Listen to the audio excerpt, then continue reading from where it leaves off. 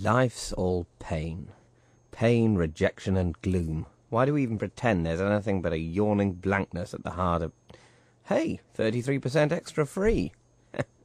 I am doing excellent shopping. My depressed state of mind means I'm being even more frugal than normal. Mark, Hey, Jeremy.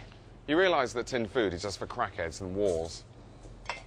Oh, oh, no, no, mate. This stuff's 78 pence a 100 millilitres. Well, yeah, I mean, it's first pressing. Or do you want to wait till everyone else has had their fun with the olives? Fourth pressing. Yeah, like that's going to be a party in your mouth, I don't think. Look, Jeremy, we've been through this before. I do the joint shopping solo because I don't make impulse purchases and I'm less swayed by the power of... Mark, I'm not shopping. I just came here to tell you that we've been invited to a very wicked party. Do I look like the kind of man who goes to wicked parties? Why don't you ask Toni? Did actually, but she said no. But it's better this way. You know, two lads. We've got to get out there, grooving, doing it, you know? I mean, it's been a long time for either of us. I mean, I haven't had my oats in something like two weeks. Nine months and 13 days. I mean, look at us. People are going to think we spend the whole time wanking.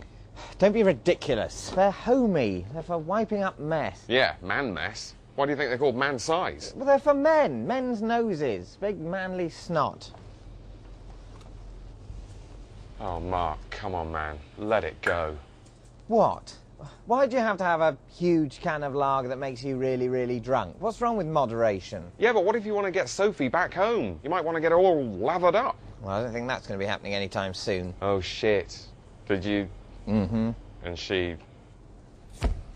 I mean, it's not a date or anything because I've got a mega pass. How do you feel about Row G, by the way? Tonight? Yeah, I thought. Oh, Mark, l- listen, I'm, I'm sorry, I'd love to, but uh, I've got this thing. Oh, man, I'm.